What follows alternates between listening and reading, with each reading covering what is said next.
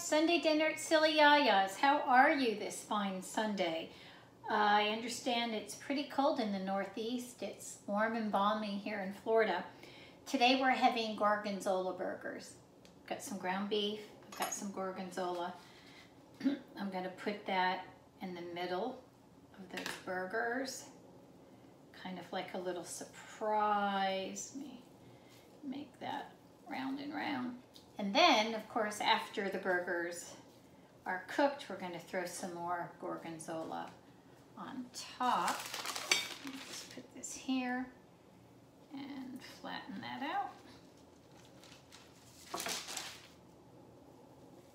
Oh, nice.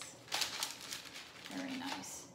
So I just take the ground beef and I score it so that I can try to make the burgers uniform in size so that they cook evenly. And then here I am is just making a little recess in there.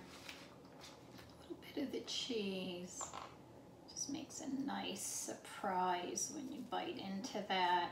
We're gonna serve that with lettuce, tomato, um, Vidalia onions. I like the Vidalia onions. I like the sweet onion um, with burgers. I just think it adds another level of uh, flavor.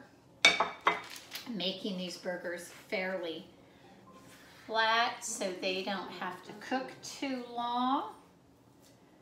All right, so I will come back later when we have some finished burgers for you to see. Ah, there's Mia.